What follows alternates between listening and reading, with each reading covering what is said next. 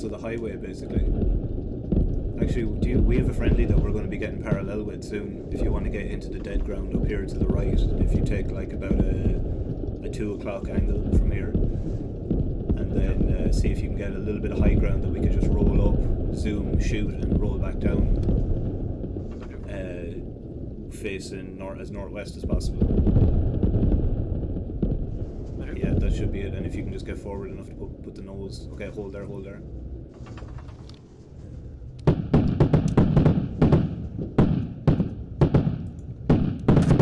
About the east of them, I'll set you an attack marker. Oh, you said it.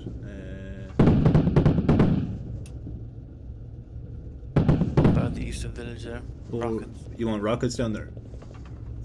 Yes, I do. Fire. On fire, on the fire. people, I can see people down there. On the Yeah, that's they're by the okay, uh, about three hundred degrees through the trees. Shoot! I need to make sure we don't fucking fire a whole volley yet. Nothing. Shoot! Where in the field? Do we have friendlies in the field?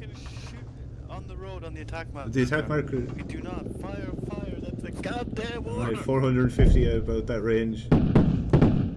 Oh Jesus! They go fucking everywhere. I don't think they go that range, do they? Oh, was oh, was that on? That was on target, wasn't it?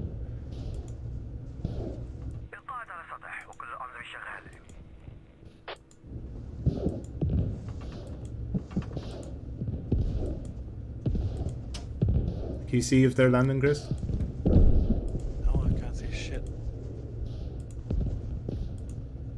Should we have a machine gun? Yeah, we do. Well. And a cannon. Can you shoot them or? I think yeah, these are landing, dude. I I can see just literally at the bottom of my screen that these are landing up the road beyond that destroyed uh, tank. Preserve your.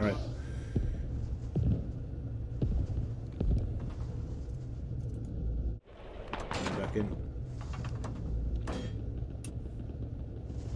Seems to be fighting in this town behind us, Chris. I see smoke. We could just roll up with the something shooting. Yeah, we need to, we need to go to Vineyard. Is that a we're fri- using, that's a uh, fucking enemy, dude. Shoot him. what was he standing there for? Does he not recognize Russian people?